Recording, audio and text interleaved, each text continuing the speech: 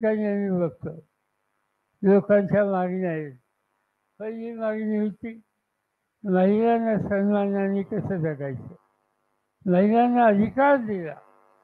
तर महिला काही जबाबदारी घेऊ शकतात. मला आठवतंय मी देशाचा संरक्षण मंत्री होतो. अमेरिकेत गेलो. या देशाची पद्धत आहे की एखाद्या देशाचा संरक्षण मंत्री आला त्या देशात आणि विमानाचा खाली उतरला तर त्याला सैन्य दलाचा सलाम असतो.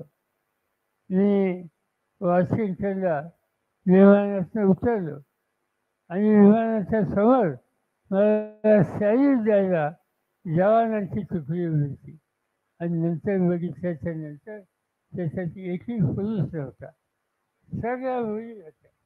लष्कराच्या अधिकारी होतात मला आश्चर्य वाटते मुली लष्कराच्या अधिकारी परत हिंदुस्थानात आल्याच्यानंतर आमच्या आर्मी नेव्ही एअरफोर्स याचे अधिकारी बोलवले आणि त्यांना सांगितलं की आपल्या लष्करामध्ये आपल्या हवाई दलामध्ये आपल्या नेव्हीमध्ये मुलींना का संधी द्यायची नाही?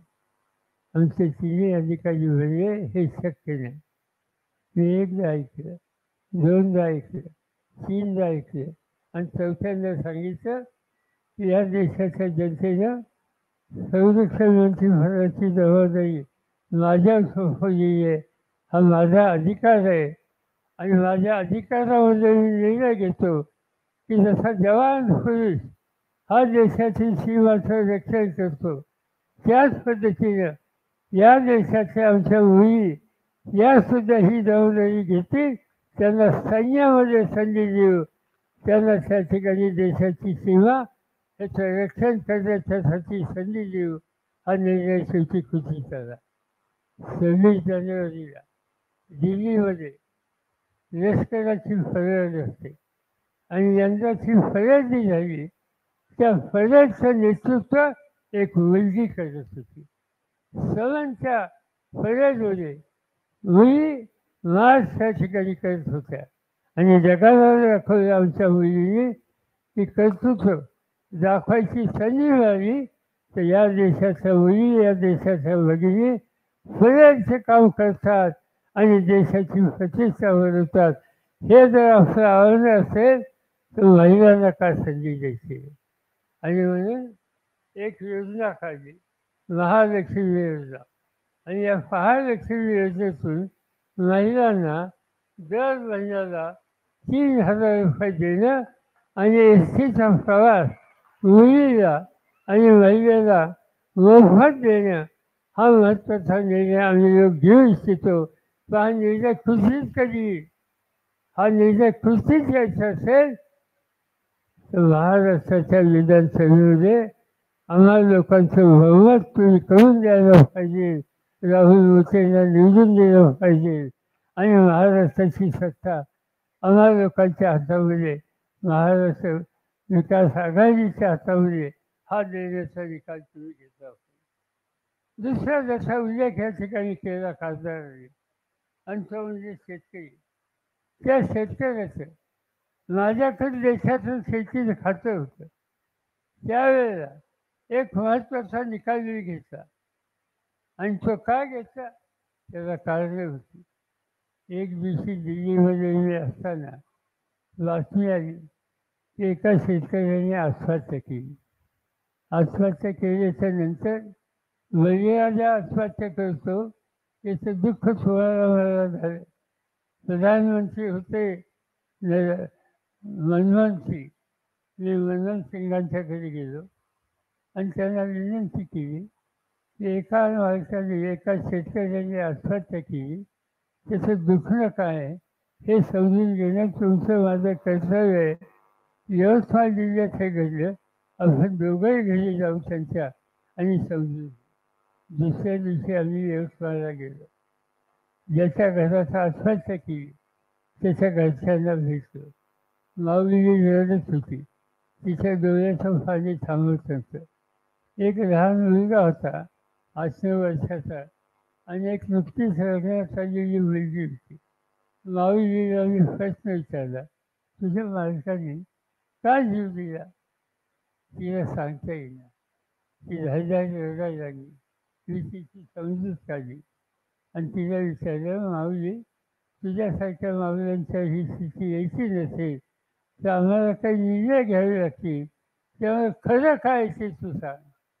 तिने सांगितलं माझ्या नवऱ्याने कफाशीच्या पिकासाठी कर्ज काढले होते कर्ज काढलं आणि कफाशीवर रोग आला. पीक गेलं. पीक नष्ट झालं. तर कर्ज नष्ट झालं नाही ते डोक्यावर राहिले. दुसऱ्या वर्षी त्यांना पुन्हा एकदा त्यांनी कर्ज काढले. घराची भाजी कुंडी ठेवून दुर्दैवाने दुसऱ्या वर्षी पाऊस आला नाही.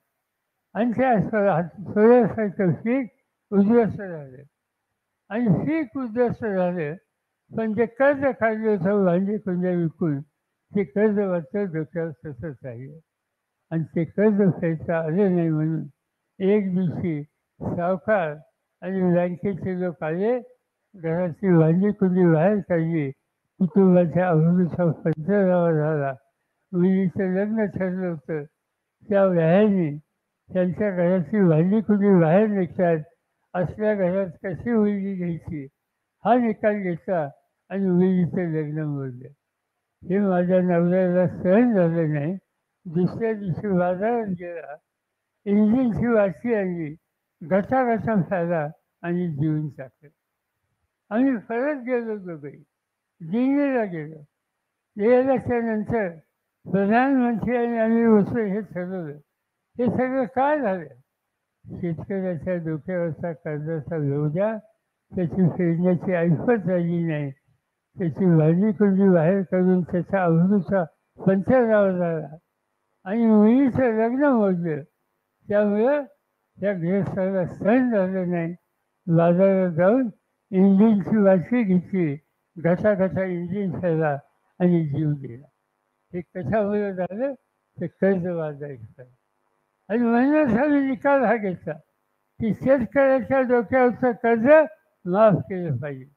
जसा उल्लेख या ठिकाणी केला ओमराजेंनी या देशाच्या सोळा उद्योगपतींचं कोट्यावधी रुपयाचं कर्ज हे माफ होऊ शकतं आणि काळ्या आईशी इमान दाखला माझा भाऊबंद शेतकरी आहे त्याच्या डोक्यावरचं कर्ज असं फेडायचं नाही गुजरातच्या लोकांच्या कर्जाला सूट द्यायची हे काही योग्य नाही.